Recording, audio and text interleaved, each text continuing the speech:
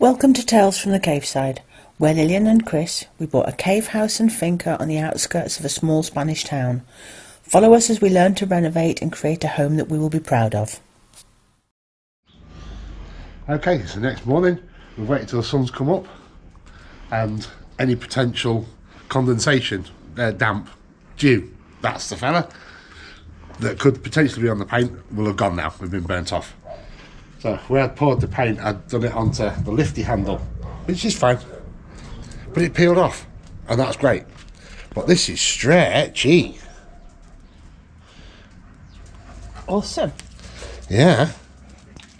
Better pick that up, otherwise Loki will eat it. Uh, so that's brilliant.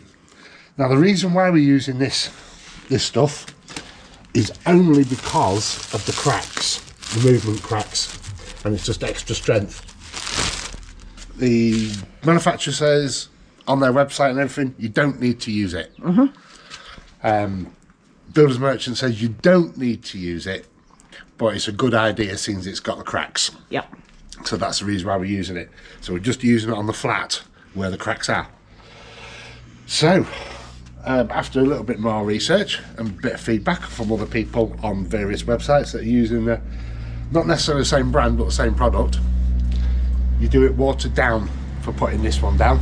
Otherwise, it's too thick for it to get right down. Uh, because it can cause like a, a layer between the, the layers and that's not what you want. You want it to adhere to the other thing. So that's good.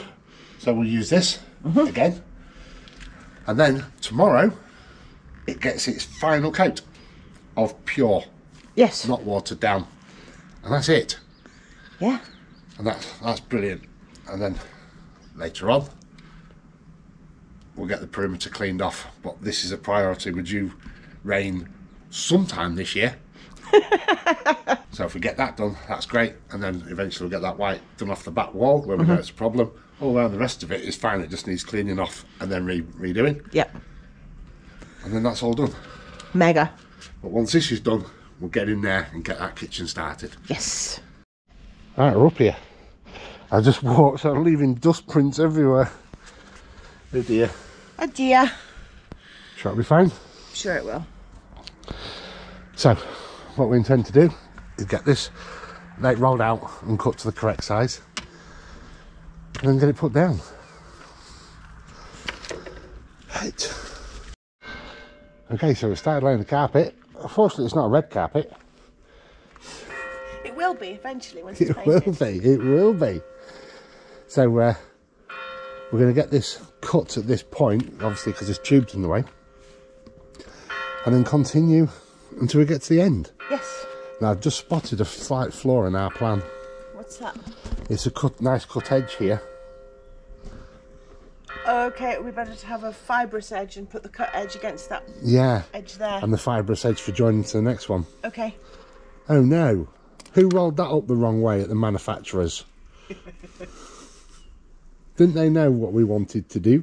Obviously not. No, obviously not. Right, I know. I've had an idea.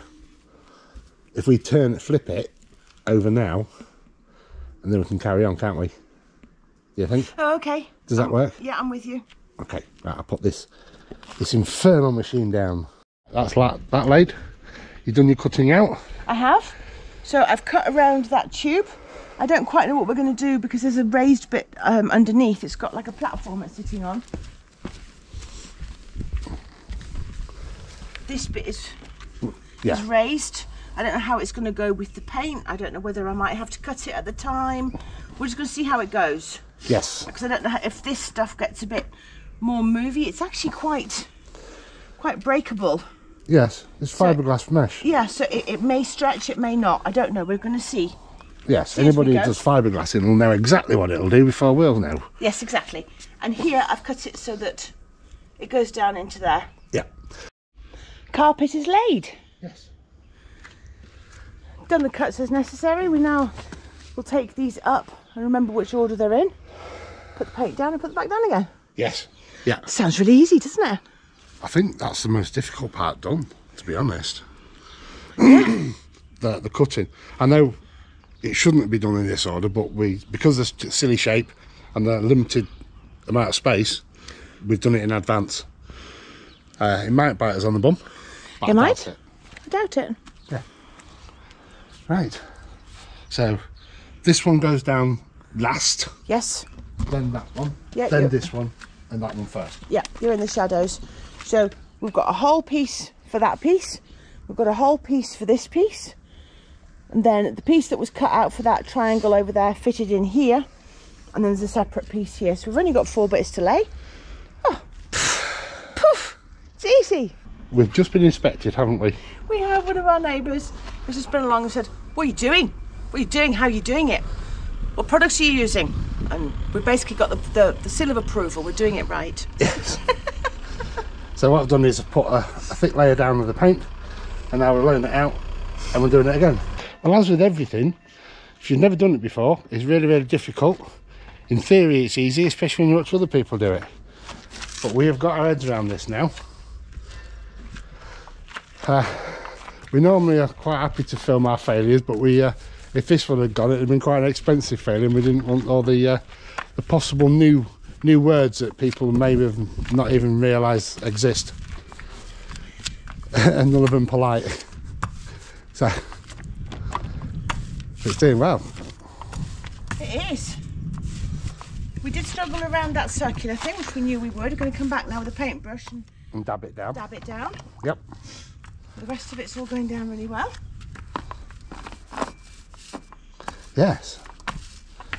We actually discovered that if you put a layer down first of paint and then put the mat down, it's not too bad. You know, if it's right. But if we just put a lot more paint on and then rub it in, it actually works better. Yes. And we did try it and then lifted it up and it was absolutely covered in paint underneath anyway. So that's that's uh, better for us. Maybe a little bit less time consuming.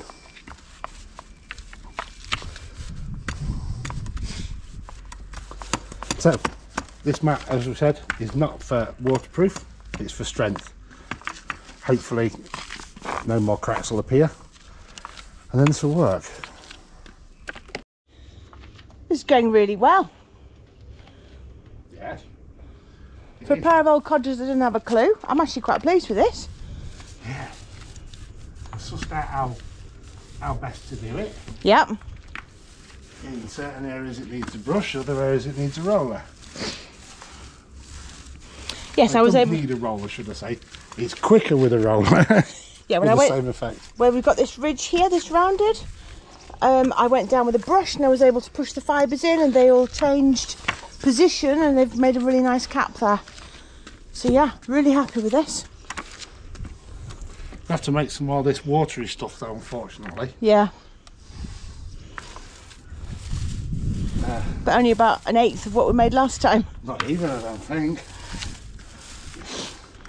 We've nearly got enough left in there to do this, but not quite. Then we've got- So there's only really this bit to do. Yes, there's all of this piece left to do, and then there's the piece for here, which is actually made up of two pieces. We haven't got enough in that bucket for these two bits, I don't think. No. Well, I do think. I do know, rather. There! Brain. It's sunny, it's hot, and it's November, so it's broken me. We're both in t-shirt and shorts and like sweating. I It's I've hot. this t-shirt. I'm thinking I'll wear this one because it's not as, you know, it's a bit thicker than the normal ones. How too hot. Yeah. Madness, isn't it? This is not exactly strenuous work. No. I'm feeling a bit dizzy. It's my lot in life to hang over the edge of things, isn't it? Yes. So to do the last little ridge over there that goes up and onto the wall, I was hanging over the wall and doing it, standing on the other side. but it's done. It's Yes. done. Looking really good. It looks like a carpet. Does look like a carpet, doesn't it? Yes. So, right, we've got to leave this now, 24 hours Yes. or thereabouts, and then uh, gets its final coat. Yeah, I've just got a little bit left on my brush, so I'm just going across these edges, make sure they're down, Down, down, down, down. deeper and down. Song there. Song there. Hmm. Beat me to it. Yes, right. I'll get tidied up while you just empty your paintbrush. Okay. just come into the big city. Well, for us, Elche. It is mental. Absolutely mental. Um, Lillian's just gone to sign their contract for working for the school. And it's in the middle of all this. All this built upness. Oh. All the streets around are one way and everybody knows where they're going. And it's like, I don't know, it's like wacky races. Very stressful. It's very, very stressful driving in a town, in a big city like this. Uh, yeah. It's crazy. And then uh, the Google Maps thing decided it wanted to send us down a different route and we'd already had the route planned in our heads and we just needed Google Maps as a backup and we thought, oh no, we've taken a wrong turning. We hadn't, but it just went, oh no, I'd like you to go this way instead. Look, have a drive around, get used to it. No. Anyway, wait for Lillian to come back and I'll show you a little bit of driving around Elche. But we might turn the sound off.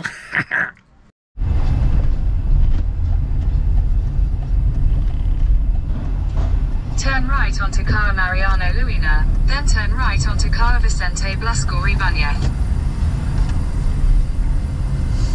take the next right onto Cara Vicente Blasco Ibáñez.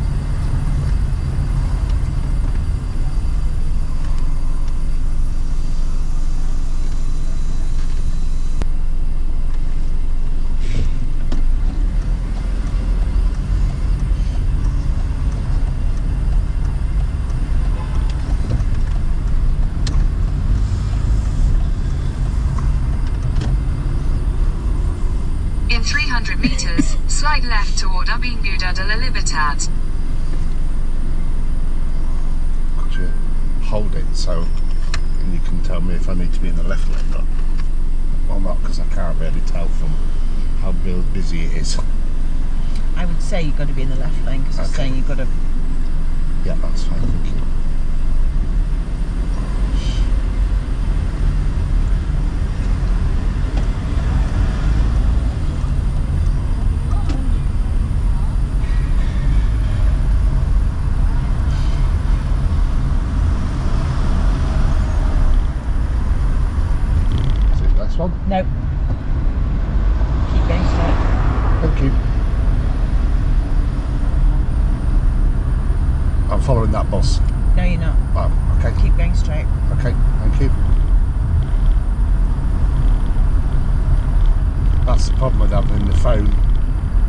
Away Yeah, from your Slide eyes. left toward Avinguda de la Libertad, then car. turn left onto Okay. Avinguda de la Libertad.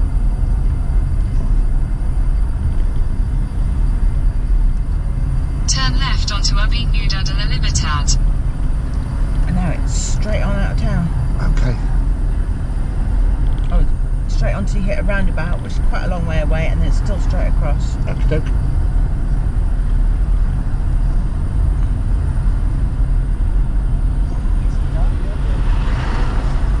This is the road where all the bikers play.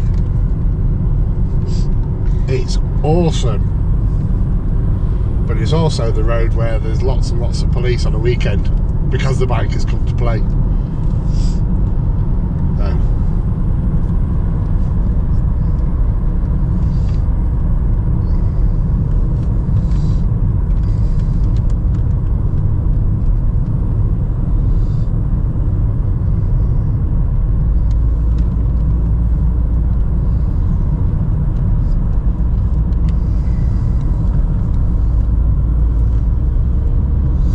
when we came out for a ride on the bikes, we didn't know about this road, did we? We didn't, no. It was a real shame. So that, that was when the bikes were still legal before we'd got residency and the driving licences are still taxed and MOT'd and insured in the UK.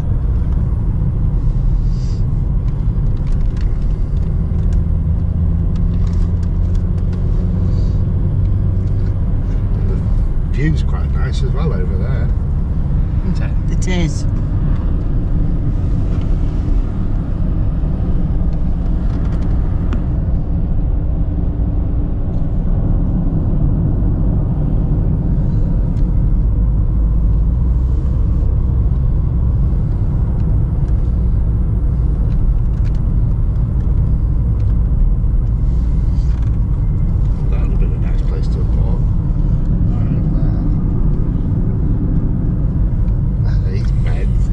Show you the bends, but I'm also trying to show you the view because there's a view down to the reservoir over there. Now you can't see it, the water's too low.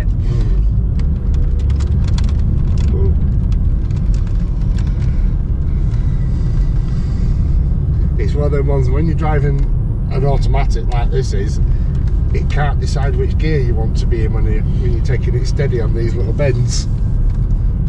Because we seem to be sort of like midway, which is where which where a manual would be better.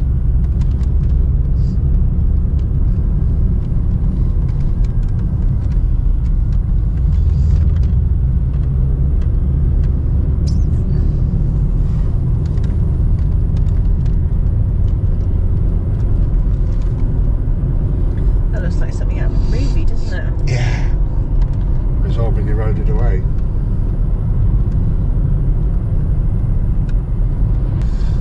This would be nice in an open top styly sports car as well, wouldn't it? It would, it would be fun. Yeah.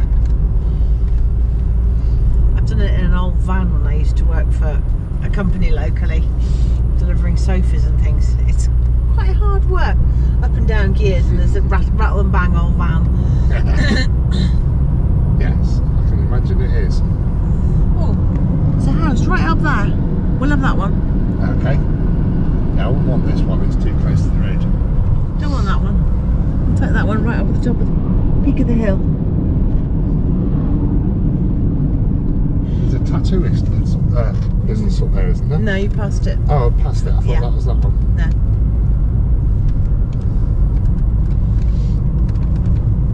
And that's the cafe everybody goes to on the bike. On the weekend, apparently that is absolutely chock-a-block full of bikers.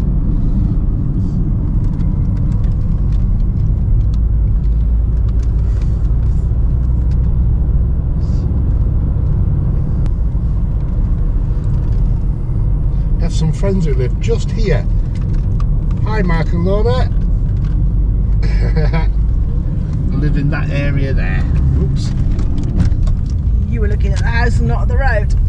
I was. That was my mistake. Take your eyes off the road. Concentrate on what you're doing.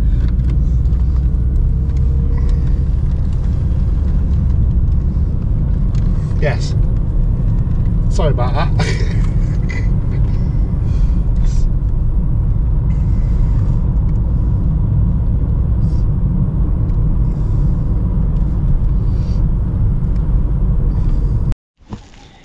Exciting! we'll have that roof done today. Yes, we will. And then we need to get um, the other paint Yes. and clear the walls off. We'll do that later, Yeah. not today.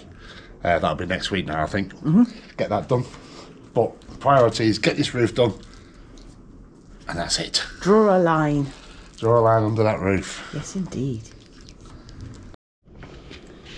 Well, this stuff has taken really, really well. Really happy with it. Yes. So it's now going to have its final coat. This area over here, this separate building, we can't walk on this. We're not happy walking on this.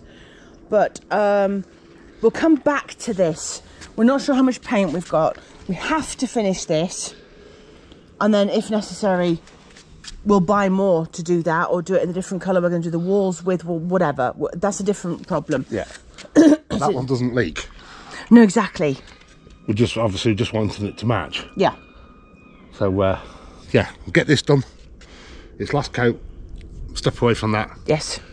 and then we can come back to that in a few days' time once this has gone off properly. Yes. Agreed. Yeah. Okay. Unwatered down, this is really thick. Yes, it is. But last coat going on. Yes, indeed.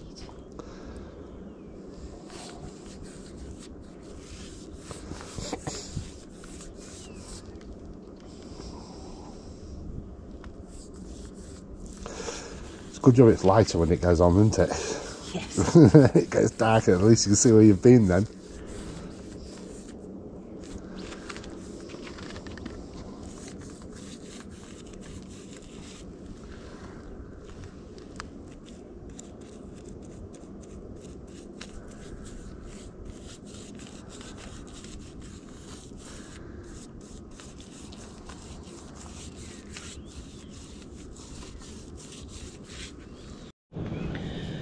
It's turned into a really warm day again. Crazy crackers weather.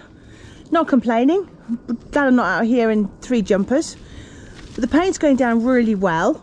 We're not sure as to whether we're going to put a third coat on purely for looks.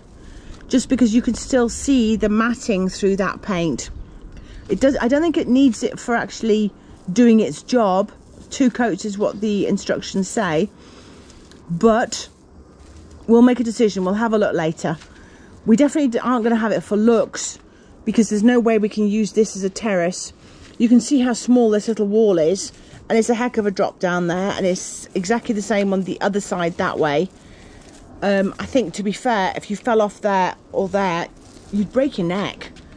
If you fell over here, there's more of a wall. It's a harder thing to fall over, but you'd break an arm. So unfortunately, it's not something that can be used as a terrace. No, no, we can't use it as a terrace. And as we've said previously, we're not allowed to do construction. So if we was to put a safety rail up, it'll be illegal. Yeah. And we'll have to take it down and pay a fine. So yeah, this is just unfortunately dead space. A lady's just driven by and she said, uh, this palm tree over here, can we please cut the branches? This overhanging one is hitting cars. Can I cut it off, please? So I'm going to find some cutters and cut it off. Okay, did it. Took about four great big palm leaves off. Anybody hits that with their car now, they're going to hit the wall first. So having been on my foray to cut palm, palm leaves, okay, and I come back to see how Chris is getting on, and look at that. Really happy with that coverage. Really happy with that finish. That is it. We are done once you finish that. Yes. Awesome. Awesome. Really happy. We have a roof. I now actually wanted to rain. Not yet. Give it 24 hours just to test it. Yeah, yeah, maybe a little bit more than 24 hours, just in case we've been on a little bit thicker than what you'd normally put a paint on it. But yeah, Okay. Uh, just give it 36 hours and we want rain. yeah. I'm not bringing an hose pipe up here and chucking water down for the sake of it. no. Thanks for watching Tales from the Cave Side. If you like what we do, please consider subscribing if you haven't already. Drop us a like and leave us a comment. See you on the next one.